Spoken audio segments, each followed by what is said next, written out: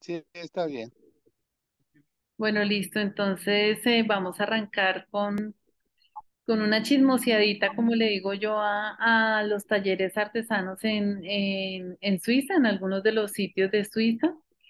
Todo lo que quieran preguntar, todo lo que se les ocurra, bienvenido. Vamos a hacer una charlita bien, bien amena. Hoy estamos en la casa de Juan César Bonilla. Sí, Juan César, ¿estamos en tu casa hoy? Sí, yo estoy acá. Sí, porque hace 15 días estuvimos tomando tintico en la casa de Amparito. Qué chévere. Bien, entonces, em, este es un, un, un escaparate, una vidriera. Eh, se subió alguien más. Bienven ¿Quién es? Bienvenidas o bienvenidos a sus. No sé quién será sus. Las tiendas artesanales en Suiza. Para que vean, si quieren. Bueno, bienvenidas a las personas que se acaban de sumar. Estamos empezando.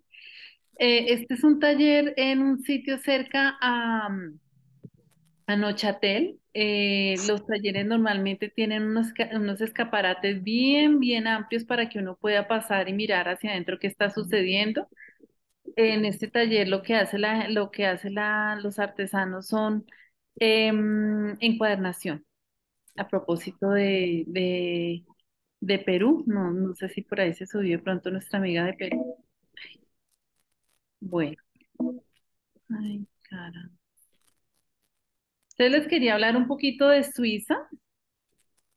Eh, a mí me pareció, es un, es un país pequeñito, es muy, muy pequeñito. Es un país eh, que parece que, que toda su extensión es un, es poco menos que Cundinamarca, en Colombia, eh, con 8 millones de, de habitantes. Y una de las características es que es muy, pero muy, pero muy rural. Hagan de cuenta irse uno de paseo para Boyacá o irse de, para, de paseo para el Cauca, irse por esos sitios tan hermosos que tiene nuestro país, pues aquí hay mucho, mucho, digamos, mucho verde eh, en términos de, más bien mucha agua y, y mucha montaña. La montaña es diferente a la montaña colombiana, es una montaña como rocosa.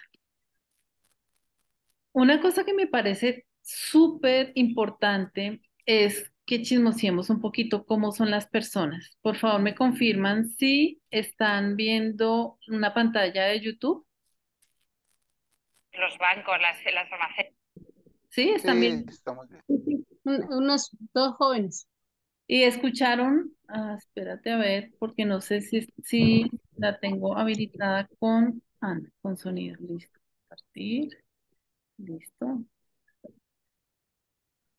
Farmacéuticas, las eh, químicas. Tú te estás tomando una cañita en una terracita de Madrid, ¿no? Pues Sí. aquí te tomas un champán. ¿Cómo Una botella de champán de- Ah, como champán aperitivo, ¿no? Para el aperitivo. Entonces, fíjate, están aquí todos sentados. ¡Hala, es verdad! O sea, que es Fíjate qué buen carísimo, plan. ¿no? Es carísimo. A lo mejor te cuesta, esta botella te cuesta 100 euros. ¿Pero qué dices? Sí, sí, sí. Es que aquí parece que te cobran por respirar realmente. ¿eh? Sobre todo en esta calle. Es todo Entonces, aquí a lo carísimo, mejor ¿no? te compras un café y el café son 8 euros, 10 ¿Qué euros. dices? Van un poco a que les vean Sí, también. ¿no? También ¿ves? les gusta ver Mira y ser que- vistos, mira ¿no? qué- Mira qué estupendo lleva este chico, y por favor. Sí. Esas bolsas son de Hermes, o sea, ese chico se ha gastado Claro, eh, fíjate, una fortuna, ¿no? estado de compras. Dice que ha comprado regalos. Eh, Wow, sí. very big present. Yeah, like the MDM, the style, it's, a great place to meet.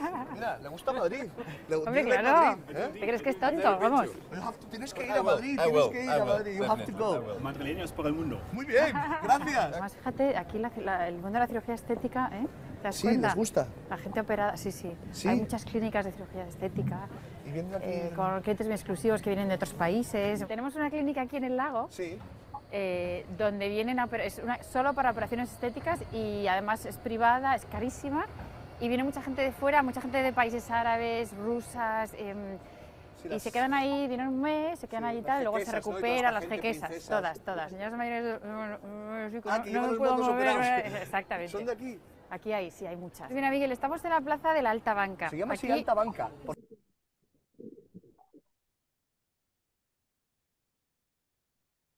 Bueno, este es el pedacito que quería compartirles sobre, sobre cómo son las personas.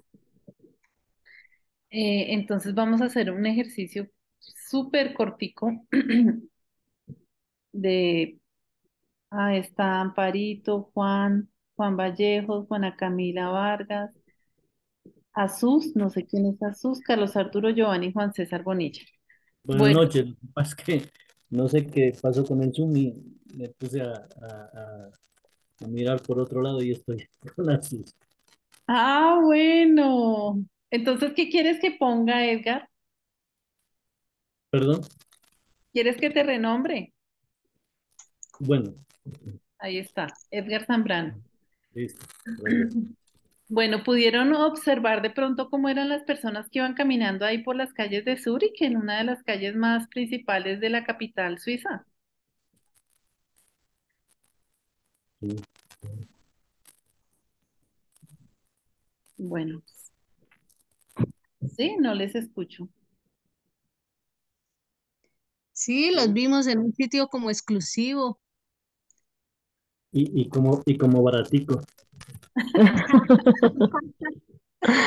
Sí, muchos lujos, muchos gastos, muchas, eh, todo Sí. excéntrico.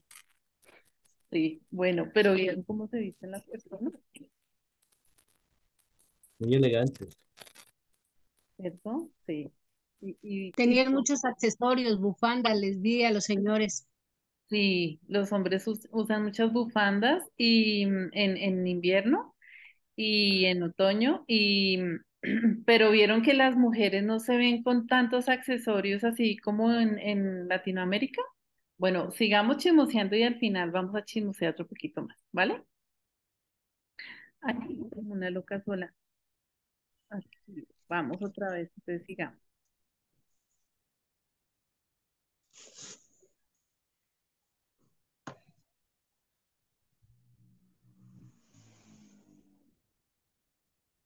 Em, a mí me parece que la gente es muy conservadora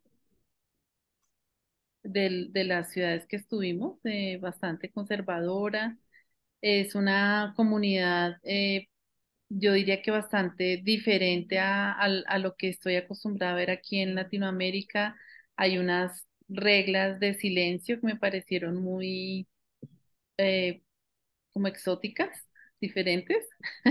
La gente que tiene perro, por ejemplo, tiene que em, pagarle un curso al perro e ir la persona al curso para aprender a, mm, llevarlo y a tenerlo y, y los perros no pueden ladrar.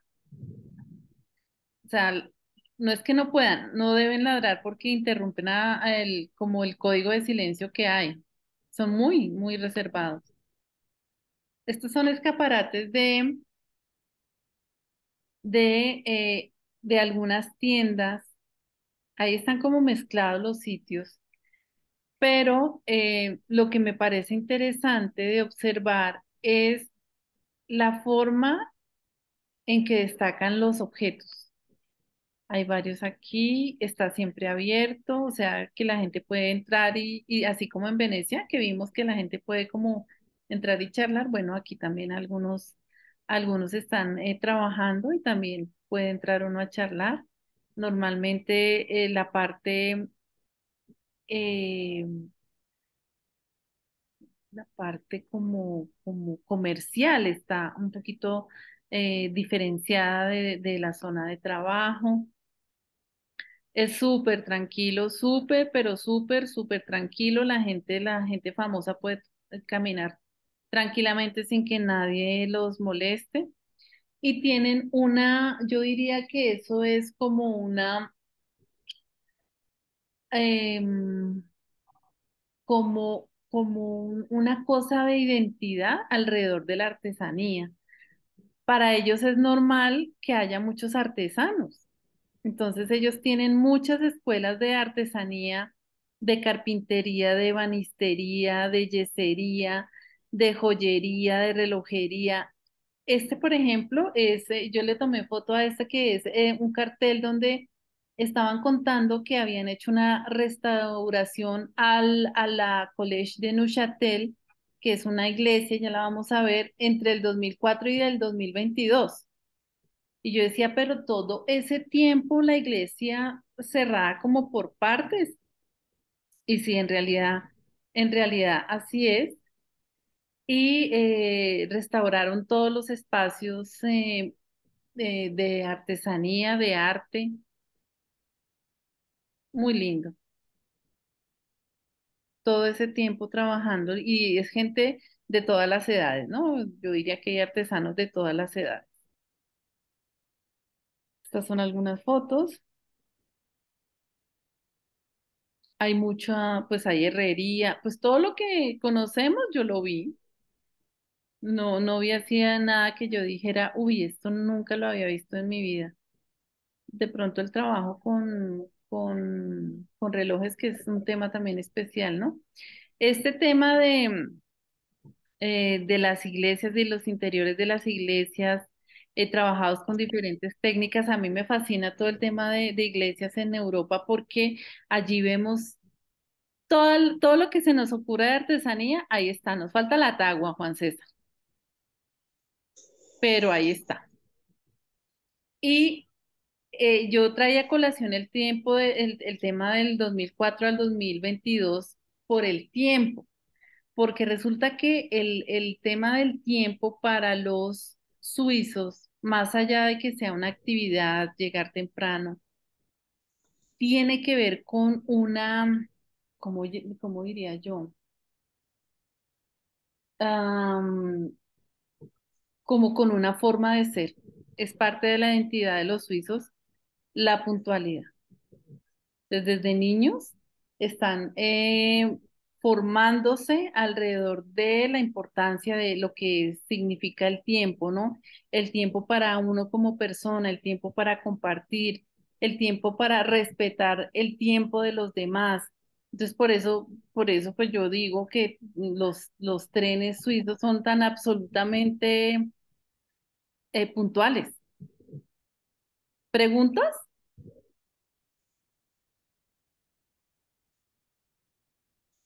Hola. No. Luis. Seguimos, bueno, vámonos a las joyerías de lujo.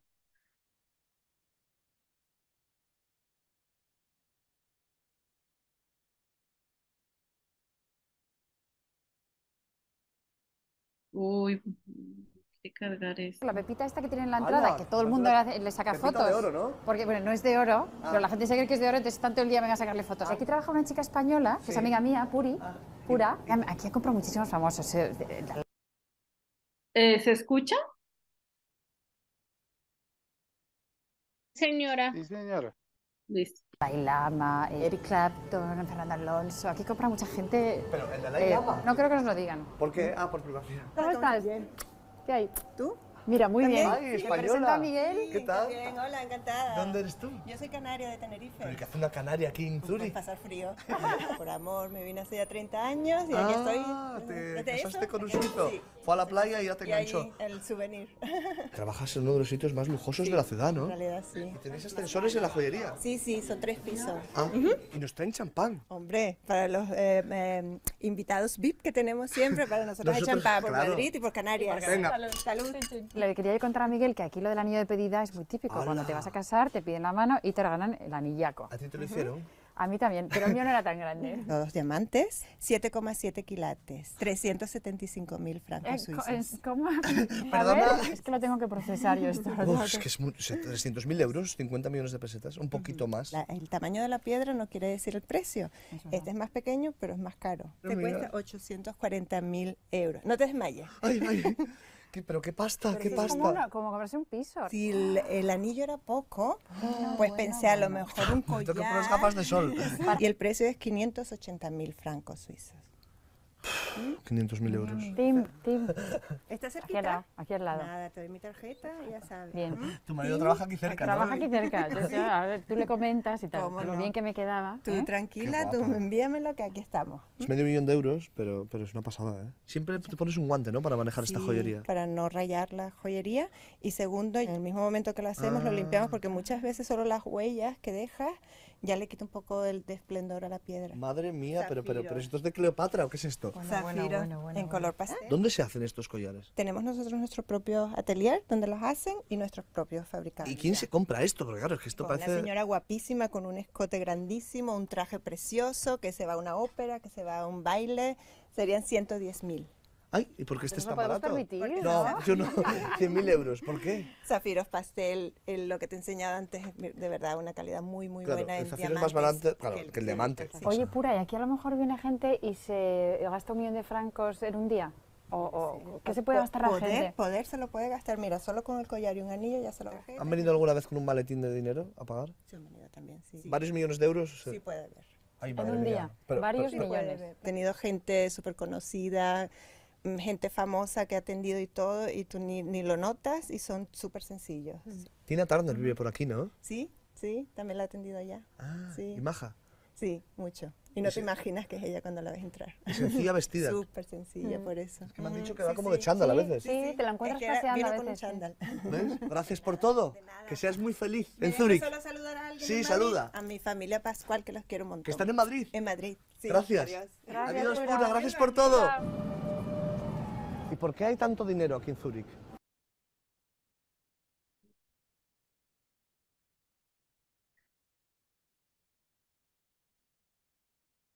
Bueno, volvemos. ¿Me escuchan? Sí. Sí, señor. Sí, Liz. ¿Preguntas? ¿O seguimos? Ninguna. Enamorada de la joyería. Sin preguntas, sin palabras, Liz. Bueno, aquí también hay unos joyeros de unas calidades espectaculares. Así que, bueno, sigamos.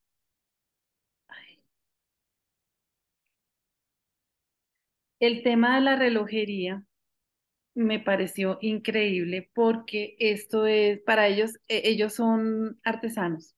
Ellos dicen que ellos son artesanos eh, relojeros y hay escuelas dedicadas a esto y, y bueno, eh, hacen, a, a- mejor dicho, a la, alineado al todo, a todo el tema eh, como interior, es decir, a, a los, mm, a los sistemas de cómo funcionan los relojes. Hay un tema que es la innovación que está presente en absolutamente todas las industrias suizas. Ellos, ellos son como una punta de lanza en, en los temas de, de innovación. Estas en particular, esta foto las tra- la, la puse ahí porque esto de aquí es cerámica. Es cerámica hecha a mano.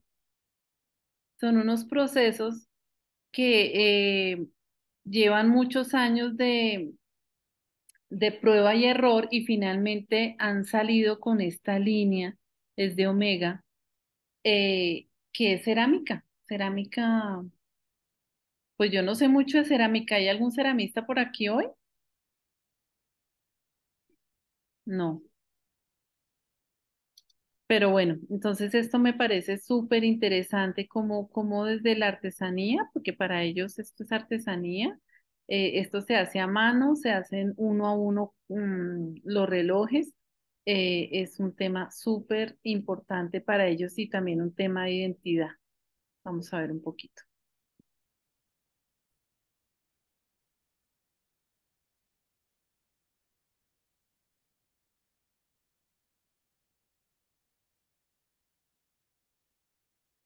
Miguel, estas ambasadores, esta es una de las relojerías, sobre Sí. todo más prestigiosas Bueno, de bueno, Zúrich. mira qué escaparate Tú fíjate el tema, ¿eh? ¡No! ¡Francolina! Ay, ¿cómo está?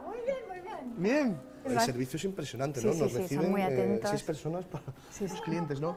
Ay, no puedo, no puedo grabar a los clientes. Vale, vale, vale. Ok. Está, está prohibido. Ah, vale. You vale. can't, you can't, you Vale, can't. vale. You can't. ¿Por qué no me deja grabar? ¿Por qué? Hombre, pues porque igual es un cliente exclusivo, es una persona que no quiere, ¿sabes? La VIP. Ah, la zona VIP. La Fana VIP. ¿Y aquí ha venido gente famosa? Sí, sí, solamente gente famosa. Hollywood people. Of course, only Hollywood people. Este es un teléfono. Pero- Sí, hecho a mano. Ah, está hecho a mano el teléfono. Dice que tiene diamantes el teléfono. Pero bueno, ¿y esto? También, también. Este, ¿Cuánto cuesta el teléfono? esta es 14.000. 14.000. 14.000 francos, En mi- 14.000 euros. Madre mía, qué barbaridad. Ahora nos van a enseñar unas piezas exclusivas que tiene aquí. Ay, pero mira qué cajón. Para clientes- Estos cajones valen millones. Ah, mira, mete como una clave ahí. Bueno, bueno, bueno. mira, con guante, con guante. Con guante, ha puesto el guante. Ah, mira, mira. Aquí reciben a los clientes. Yo estoy de Pretty Woman hoy. pues vamos, no me lo creo ni yo. Con diamantes. Todos son Y eso diamantes. es el mapa del No, mundo. no, eso, no, eso de ahí dentro es el mapa del mundo. Sí, sí, exactamente. Y está hecho con diamantes. Y Sí. esto alrededor todo, fíjate, mira, Pero pero, son- tú todos mira, son diamantes. todo Todos son esto- no, pero diamantes, como sí, la sí. tuerca, todo, todo, todo. ¿Cuánto cuesta este reloj? ¿Medio millón Sí, de euros? millón de, de- O casi, Medio bueno, millón de euros, sí. Medio sí, millón de euros, menos, pero sí. qué, qué burrada, ¿no? McGrebel Force son relojeros que necesitan más que un año para hacer este reloj. Ellos hacen solamente 100 relojes para año, no más. 100 relojes. 100 relojes al Hay que año. montar Y- y pieza a pieza todo. Pieza a pieza. Ese reloj no hay diamantes, pero el precio es lo mismo que es ese reloj, porque es todo, todo hecho de mano y muy, muy complicado. La Estos tecnología muy eh, minuciosa. Exactamente. Tú sabes que aquí los relojeros mejores del mundo son suizos. ¿Y por qué? Pues nevaba tanto que se metían, los granjeros se metían en las casas a hacer mm, cositas manuales, a hacer. entonces la, Ah, que la tradición la forma relojera. Sí, de Suiza. sí. No podían hacer Entonces, nada con el ganado claro. porque nevaba mucho. En invierno te metes a la vaca y tal, y entonces tienes que ponerte a hacer algo manual. Aquí tenemos dos, dos relojeros trabajando, guerra mundial. Es de la Primera Guerra Mundial, es de lo. ¡Wow! Sí, sí. Qué Wow. maravilla de reloj. Qué precioso. Antiguo, Sí, antiguo. eso ¿verdad? muy, muy antiguo. ¿Es de oro? Es de oro, sí. Pone el reloj que es de Ginebra. Hay más tradición relojera en Ginebra que en Zúrich, Sí, ¿verdad? exactamente. Sí. Una vista muy bien y también un mano muy eh, tranquilo. ¿eh? Pulso. Oye, Me contaba este chico que ha ido a una escuela de relojería tres años. Ah, o sea, que es una profesión Ha que aquí es muy, muy Mm. habitual, ¿no? Y además es una tradición que, que suele pasar de padres a hijos. Ah, los ¿no? relojeros. Que se- sí. Madrileños por el mundo, gracias. A ti, gracias a ti, gracias, adiós. ¿Tú sabes quién es Oprah Winfrey? Es una periodista.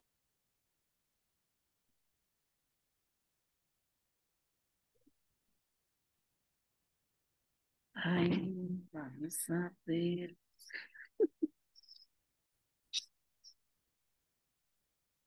¿Cómo les pareció lo de los relojes?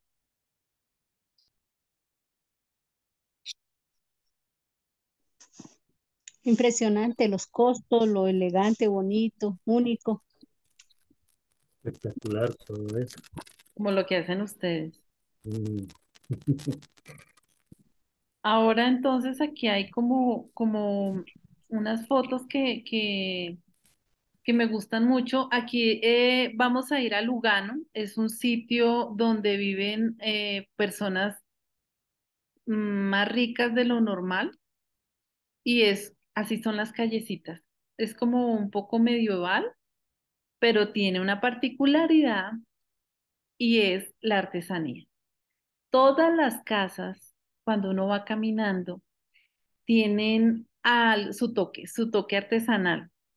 Miren esto, martillado, miren esto, trabajo en madera, cerámica, herrería, todos estos elementos también súper lindos.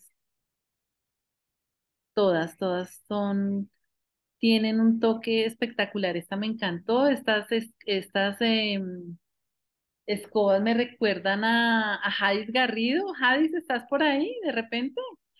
Jadis se subió hace 15 días. Em, las escuelas de Chimi, eh, las escuelas, las escobas de Chimichagua. Y miren esto, no, es muy lindo, es muy rico caminar, la artesanía le da un encanto especial a, a, eh, esa experiencia de caminar, todas las casas, las casas adornadas. Me pareció tan lindo, los pensé tanto. Miren, Casa Rana.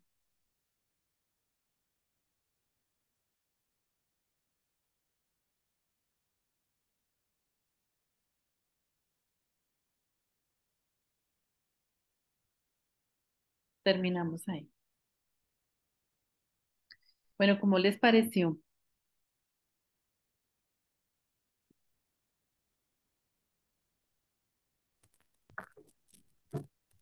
Muy bonito, muy, muy, elegante. Bueno, nos vamos entonces a salas, poquito tiempito, cuatro minuticos, para sacar un resumito por equipos de, de sobre todo, ay, se va a terminar en 10 minutos es- este link, entonces vuelvo a enviar el otro porque nos falta el tema de, del VIP. Eh, pero entonces cinco minuticos, cuatro minuticos para charlar. Si quieren charlar en grupos, a ustedes les encanta irse en las salas. Sí, Liz, gracias. Bueno, entonces dos salas, cinco minutos para, eh, para sacar dos conclusiones de, de lo que, de lo que vieron en términos de cómo es la gente, y cómo, cómo ven el tema de la artesanía, ¿vale? Y no sé si quieren alguna otra cosa, súper. Ahí van. Listo. Cuatro minuticos.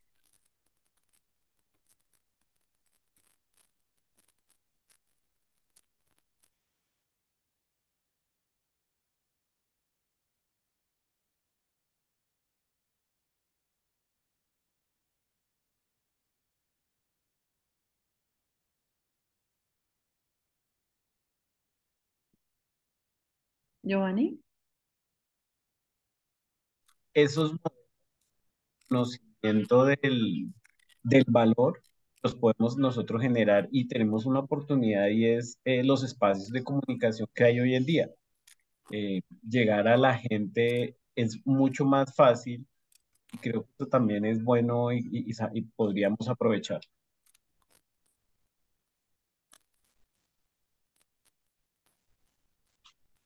Bueno, ¿cómo les fue?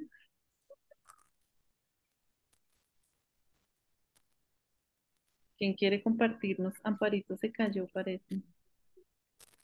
Está Juanita, Giovanni, Carlos, Juan, César y. ¿Alguien nos quiere compartir algo? Pues en- nosotros estábamos hablando en el grupo y es que realmente en, en- Europa, bueno, en Zurich, en Suiza, por ejemplo, es, eh, hay mucha artesanía. Y yo le hablaba a Amparo que en el caso nuestro, que trabajamos la parte textil, nosotros sería muy bueno que nuestros productos poderlos ubicar en esos lados, porque la gente utiliza mucho accesorio, ¿cierto? Y lo otro, pues, es que la gente, eh, eh, hay mucho respeto con, para el artesano y la artesanía. Pues por eso se miraba que todas las casas tenían algo de artesanía y eso es muy bueno para poder nosotros llegar hasta allá, ¿no es cierto? Sería bueno, pero pues lastimosamente es un sueño poder llegar hasta allá. Gracias, Edgar. ¿Alguien más?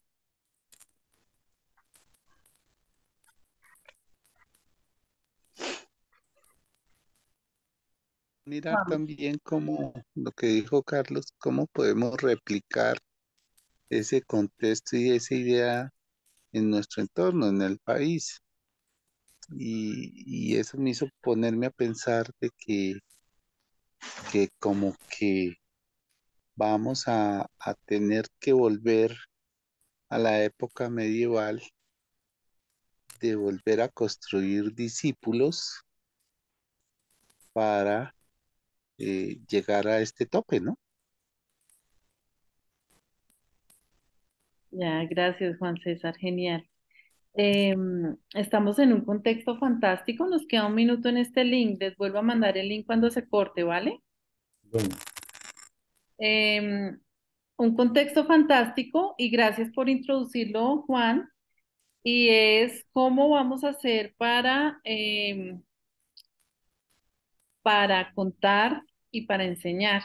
Y estamos en el siglo XXI y tú estás hablando de, de volver a la época medieval y cómo podemos hacer eso ahora, teniendo en cuenta todos los canales digitales que, que hay, ¿no? Y todas las oportunidades que se están dando. Esa es la segunda parte que vamos a explorar cuando se corte el link. Y, eh, y antes de, de eso, vamos también a, charlar un poquito con Juanita, con Juana Camila. Entonces nos vemos en el siguiente link porque esto es, en cualquier momento se corta. Y ahorita no sé si seguir hablando o no. Bueno,